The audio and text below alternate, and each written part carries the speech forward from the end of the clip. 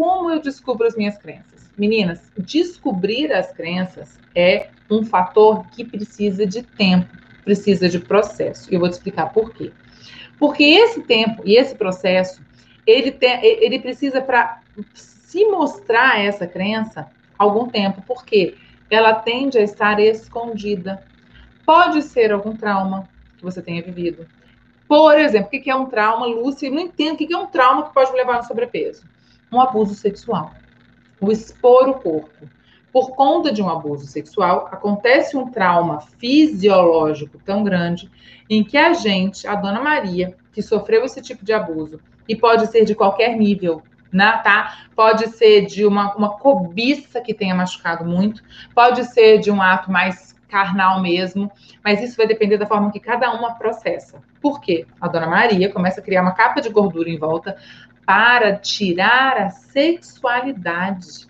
Porque inconscientemente ela começa a acreditar que estando não estando atraente fisicamente, ela vai estar protegida Entende o fa... por que, que eu digo para você então que existe um porquê de existir essa capa de gordura?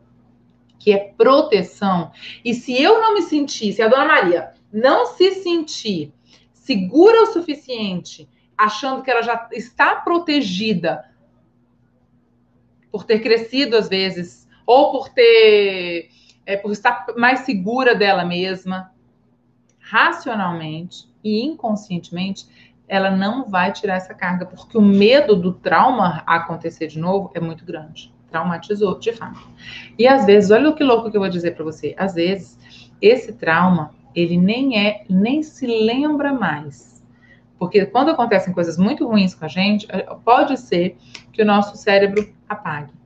Para se proteger daquela dor é tão grande, o sofrimento é tão grande, que a gente acaba para se proteger daquela dor. Fecha, não vou me abrir. Então, como é que descobre uma crença dessa, gente? Tem uma forma da gente conseguir isso, mas aí vem um processo terapêutico. Não tem uma fórmula para eu te dizer.